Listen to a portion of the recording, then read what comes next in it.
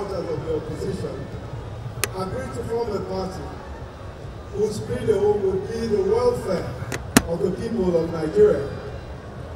They agreed that we will keep our focus on the greatest happiness of the greatest number of our people. They affirmed that the reason for government's existence is to ensure the provision of the means and the environment for all to prosper and to live in peace. They decided that we would rise above ethnicity, above religion, and all in the design and implementation of policies and in the choice of men and women who would be appointed or elected to serve. Mr. President wrapped these principles into three major concerns, security, economy, and the fight against corruption. Eight years on, the government of our party and the Nigerian people have embarked on the largest investments in infrastructure in our history. Investments in rail, in roads, in power, and broadband connectivity. We have birthed an irreversible agricultural revolution, investing more in agriculture than any previous government in the history of our nation. We have established the largest social investment program in sub-Saharan sub-Saharan Africa, feeding 9.5 million children daily under our homegrown school feeding program, over 4 million beneficiaries of our government empowerment and enterprise program, the market money, trader money, farmer money. Our private sector has, despite constraints, continued to do wonders. Only a few days ago, Mr. President commissioned one of the, lar the largest fertilizer plants in Africa and one of the largest in the world.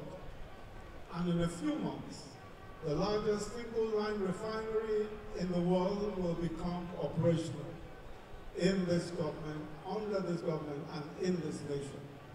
Since 2015, in the tech sector, our young men and women have established world-class companies. Today, Nigeria can boast of six unicorns, tech companies valued at over $1 billion each. Of course, it has not been a smooth journey. It couldn't possibly be. The years of building are always difficult and sometimes painful. The building of a great edifice requires deep roots into the ground. As deep sometimes as the grand, as the grand edifice that it will support. We cannot deny the difficulties we as a party and the government and indeed our people have been through. Even in the past two years, the COVID pandemic has worsened our economic circumstances. And we've had to tackle terrorist activities, insurgencies, and security challenges in parts of the country. But our people have remained steadfast, resilient, and determined to see a, a Nigeria of all our dreams. And our government has remained steadfast also, determined, committed, and focused. So to you members of our great party, in the coming months and years, we must remain resolute and committed and focused on the vision of Mr. President to deliver on the economy, on security for all, and the fight against corruption. Our eyes must remain fixed on three things. One, jobs. Two, jobs. Three, jobs. We must focus on the objective of taking 100 million people out of poverty in this decade, as promised by this government under the leadership of President Buhari. We will actualize the pledge of universal health coverage for all. We will continue undaunted in the task of building infrastructure that will be the foundation of the great modern economy of our dreams. We will continue in the task of building a strong, united, fair, and just Nigeria.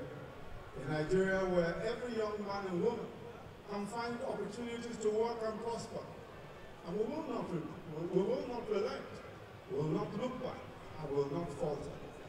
And by the grace of God, this party our party, the All Progressive Congress, will in the coming decades lead Nigeria and its great peoples to its manifest destiny. Before I take my seat, I want to specially congratulate all members of the All Progressive Congress. This is a party that was forged from the opposition, a party that came from disparate peoples and ideas, all from the opposition. But some men stuck together and decided to form this party. I want to mention their names just so that we can congratulate them and commend them specially. Beginning with the leader of that group, President Muhammadu Buhari, whose vision whose direction brought about that, that merger that became known as the APC. Chief Bisi Akande, His Excellency, former governor of Osun State, Asiwaju Bola Ahmed Tinubu, the national leader, His Excellency Aliyu Wamakko, former governor of Sokoto State, His Excellency Nasir El Rufai, present governor of Kaduna State, His Excellency Dr. Ogbonnaya Onu, also a former governor, and His Excellency Rochas Okorocha, former governor of Imo State. These men, amongst others, sat together to craft what today is known as the All Progressive Congress, Africa's largest political party, and will be Africa's most successful political party. May God continue to bless the All Progressive Congress, and may God bless the Federal Republic of Nigeria. Thank you very much.